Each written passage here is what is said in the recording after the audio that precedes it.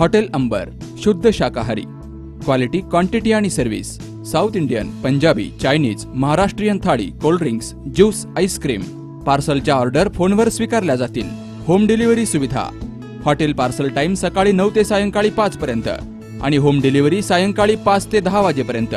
संपर्क अठ्ठ्याण्णव एक्क्याऐंशी छत्तीस बहात्तर बत्तीस. सांगलीच्या सिव्हिल हॉस्पिटलमधील ब्रदरचा कोरोना रिपोर्ट पॉझिटिव्ह आल्यावर त्या ब्रदरच्या संपर्कामध्ये असणारे ब्रदरसह पाच जणांना आयसोलेशन कक्षामध्ये दाखल करण्यात आले.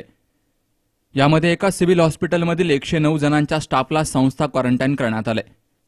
तर संबंधित ब्रदर राहत असणाऱ्या शिकलगार गल्लीमध्ये महापालिकेकडून औषध फवारणी करण्यात आली असून आयुक्त नितीन कापडणीस यांनी भेट देऊन त्या कंटेनमेंट झोनची पाहणी करत खबरदारीच्या सूचना केल्यात.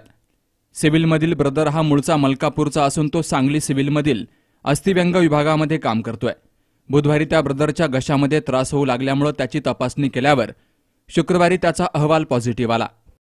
तर हा रिपोर्ट येताच महापालिका आयुक्त नितीन कापडणीस यांच्या आदेशानं उपायुक्त स्मृती पाटील आरोग्य अधिकारी डॉक्टर रवींद्र ताटे यांच्यासह वैद्यकीय अधिकाऱ्यांचं पथक तो ब्रदर राहत असणाऱ्या खनबाग गोसावी गल्ली नजीकच्या शिकलगार गल्लीमध्ये दाखल झालं.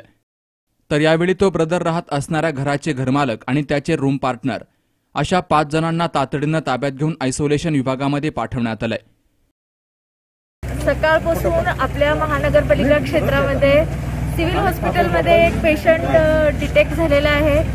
ते सिव्हिल हॉस्पिटलमध्ये काम करत होतं त्यामुळे जवळजवळ आम्हाला एकशे चौदा लोकांना आम्हाला आय क्यू करावं लागलेलं आहे. आणि पाच आय क्यू एच क्यू केले म्हणजे होम क्वारंटाईन केले. त्याच्यानंतर मुंबईहून किंवा परराज्यातून परगावावरून जे आलेले होते त्यापैकी गावभेगात एक पेशंट सापडलं. त्यामध्ये आम्ही दोन आयसोलेशन केले तीन आय क्यू केले आणि ती मोठी बिल्डिंग असल्यामुळे जवळजवळ एक चाळीस होम क्वारंटाईन होणार आहे. आणि आता इथं गांधी वसाहतीत बाहेरूनच आलेली लोक आहेत पालघर म्हणतात ते काय मालाड. मालाड म्हणतात ते तिथून आलेले तर हे तीन पॉझिटिव्ह आहेत. एकाच घरातले. तर हे तीन आपल्याला आहेत आयसोलेशनला आम्ही पाठवलेलं आहे. त्याच्यानंतर इन्स्टिट्यूशनल क्वारंटाईनला पाच पाठवत आहोत आता. आणि एच क्यूची मोजणी चालू आहे कारण घर फार जवळजवळ आहेत. आणि खूप जरा वेळ लागणार ह्या प्रक्रियेला. तर कंटेनमेंट झोनची प्रक्रिया तो गावभागात सुरू आहे. दुपारचा जो पेशंट होता तिथली कंटेनमेंटची प्रोसिजर कंप्लीट झालेली आहे. आणि आता इथलं आम्ही करतोय औषध फवारणी. तिन्हीकडे चालू झालेली आहे ऑलरेडी सगळीकडे औषध फवारणी तीन तीनदा झाली. पूर्ण सिव्हिल हॉस्पिटलमध्ये सुद्धा औषध फवारणी सॅनिटायझेशन करण्यात आलेलं आहे. आणि सिव्हिल हॉस्पिटलमध्ये तर वॉर्डचं एक क्वारंटाईन करून प्लस बाहेर आमच्या पंच्याहत्तर जवळजवळ लोक आम्ही इन्स्टिट्यूशनल क्वारंटाईन कॉलेज गव्हर्नमेंट पॉलिटिकना पाठवलेले आहेत. याचबरोबर सिव्हिल हॉस्पिटलमधील अस्थिव्यंग विभाग मनपानं सील करून तो परिसर निर्जंतुक केलाय.